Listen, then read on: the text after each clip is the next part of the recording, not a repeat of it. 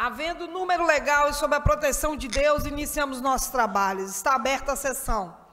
A presidência convida o nobre deputado Luiz Paulo para fazer leitura da ata da sessão anterior.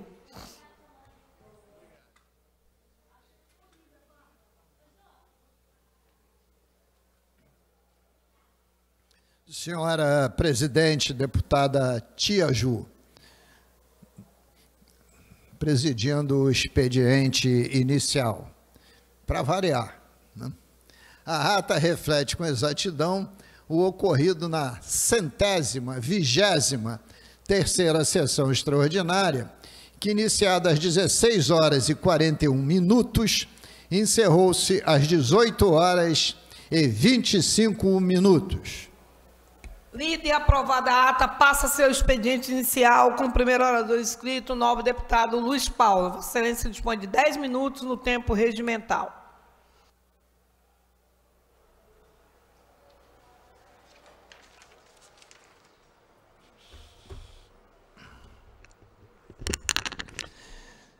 Senhora presidente, deputada Tia Ju, senhoras e senhores deputados, que nos assistem de forma remota, senhoras e senhores telespectadores da TV Alerge, senhoras e senhores funcionários públicos estaduais ativos, inativos e pensionistas, senhora intérprete da linguagem de Libras, que leva a nossa voz aos deficientes auditivos.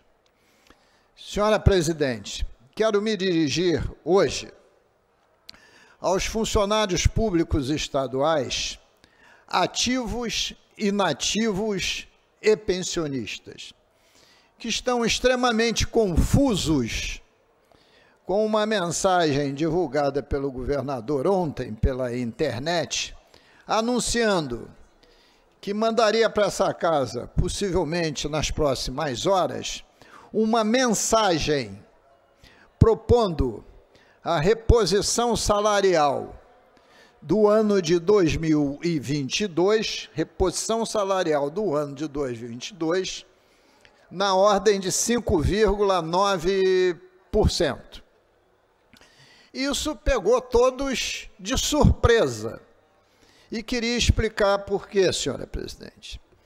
Nós aprovamos aqui no Parlamento Fluminense a Lei 9436 de 14 de outubro de 2021, que dispõe sobre a recomposição anual dos servidores públicos do Estado do Rio de Janeiro e da outras providências.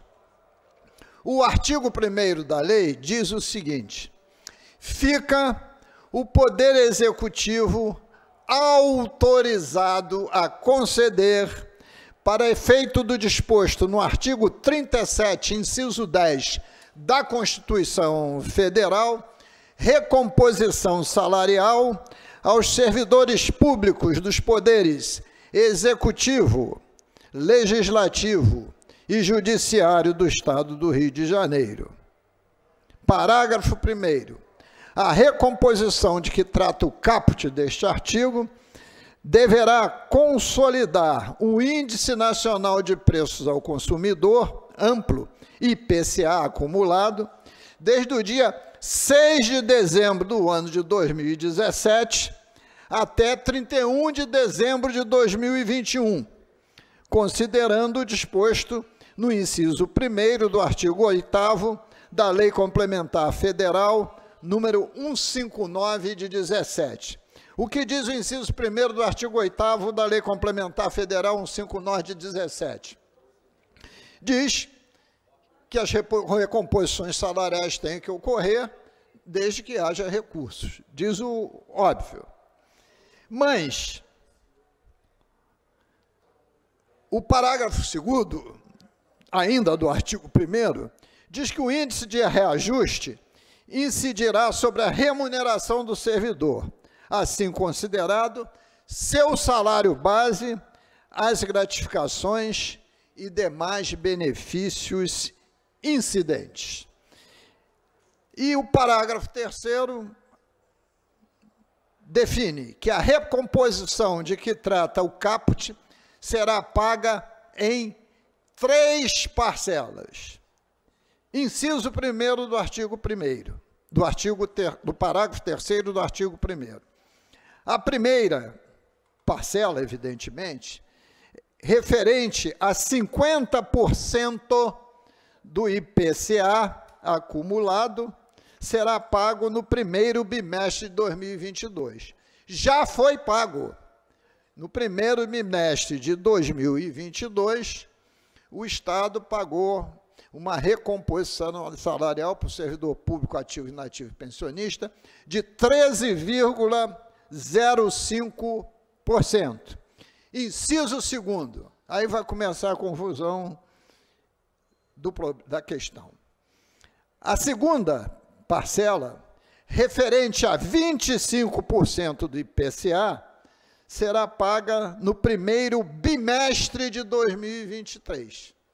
E, finalmente, a terceira parcela, também de 25% do IPCA, será paga no primeiro bimestre de 2024. Então, o que, que o governador se comprometeu? A pagar a segunda parcela do acumulado do IPCA entre, entre os meses de 6 de setembro de 2017 até 31 de dezembro de 21. E quanto daria esses 25%? Um percentual aproximado de 6,525%. Arredondando, 6,5%. Mas, tem lá o parágrafo 4 que o Poder Executivo fica desobrigado a cumprir o disposto no caput do artigo 1 nas hipóteses de calamidade financeira declarada. Nós, neste momento, pela própria fala do governador, estamos com fluxo de caixa positivo. Então, não, não estamos em calamidade financeira declarada. Por via de consequência, ele deveria ter dado uma entrevista dizendo que ia fazer a reposição de 6,5%. Claro como água, está escrito no texto da lei. Mas a lei não é um artigo primeiro só, ela vai adiante. Artigo 2 o Poder Executivo poderá promover as inclusões e modificações necessárias em ações orçamentárias no sentido de conceder reposição salarial nos termos da presente lei. O artigo 2 explica que o orçamento tem que ser acompanhado e pode ser modificado para o cumprimento da lei. Aí vem um artigo importante, que vai estar aqui no bojo dessa confusão que essa mensagem do governador irá promover aqui nessa casa. Fica o Poder Executivo autorizado, diz o artigo 3 fica o Poder Executivo autorizado a proceder anualmente à recomposição salarial dos servidores, consoante ao disposto no inciso 5 do artigo 2 da Lei Complementar 159 de 17, introduzido pelo artigo 13 da Lei Complementar Federal 178 de 21, considerando o IPCA acumulado nos 12 meses imediatamente anteriores. Parágrafo 1 O disposto no caput deste artigo deverá ser cumprido a partir de janeiro de 23, considerando a inflação acumulada nos 12 meses do ano de 2022. Parágrafo 2 O Poder Executivo fica desobrigado a cumprir o disposto no capítulo das hipóteses de calamidade pública declarada, que já foi dito anteriormente, que não estamos.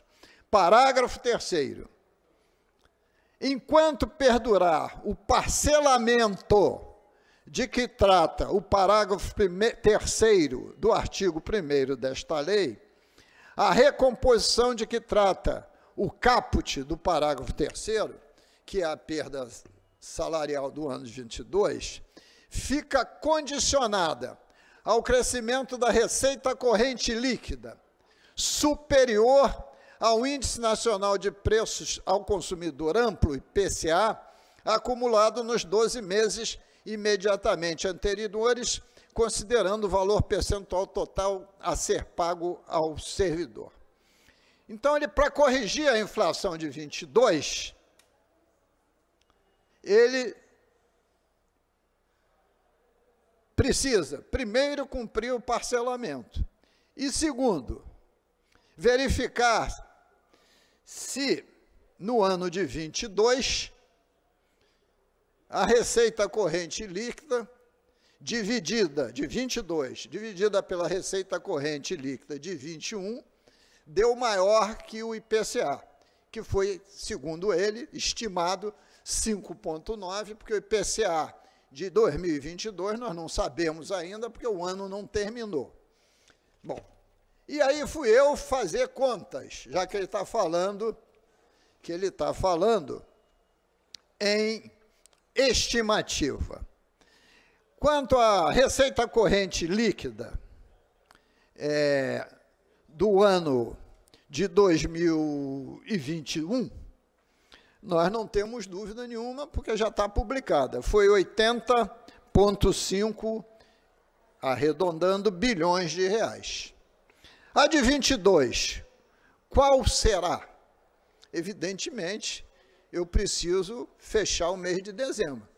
Mas como ele estimou a inflação pelo IPCA, eu também posso estimar essa receita, que dará aproximadamente 87 bilhões de reais. Se eu dividir 87 bilhões de reais por 80,5 bilhões de reais, receita corrente de 22 dividido pela receita corrente de 21, a 22 estimada eu terei 1,08, isto é, 8%. 8% é maior do que 5,9%. Então, no meu entendimento, deveria dar ele e, primeiro, a perda, a segunda parcela das três parcelas definidas na Lei 9436. Ele primeiro tinha que dar 6,5%. E se ele achasse, consoante a lei, a flexibilidade, já que a receita corrente líquida foi maior que a inflação, ou será maior que a inflação, provavelmente, dar também esse reajuste, essa recomposição salarial de 5,9%. Aí ele fez a opção pelo 5,9%, porque é menor que o 6,5. Mas quando teve audiência pública, senhora presidente, na comissão de orçamento, eu perguntei ao secretário de Planejamento se na previsão de receita, da provisão de despesa com pessoal do executivo, estava incluída a, a reposição salarial da Lei 9436 de 21. E a resposta foi sim. A resposta foi sim. Ocorre que outros poderes não fizeram o mesmo. Então, tivemos aqui na Assembleia, o orçamento ainda não foi votado, mas já o foi na Comissão de Orçamento, prever novas receitas de ICMS, fazer novos cálculos, nós que eu digo a Comissão de Orçamento, que eu faço parte, para que os outros poderes também pudessem pagar essa reposição salarial de 6,5%. Então, previsão orçamentária existirá. Então, no meu entendimento, quando essa mensagem chegar a casa e for pautada, eu vou levar essa discussão a fundo ou paga 6,5 e cumpre a lei 9436 e fica ao longo do ano vendo o comportamento da receita para pagar os 5,9, ou paga os dois. Bom, aí vamos dizer assim, ó, mas 6,5 somado com 5,9, vai dar 12,4%. 12,4%. É um estouro no cofre público. Claro, é muito dinheiro, não tem dúvida nenhuma, são 12,4%.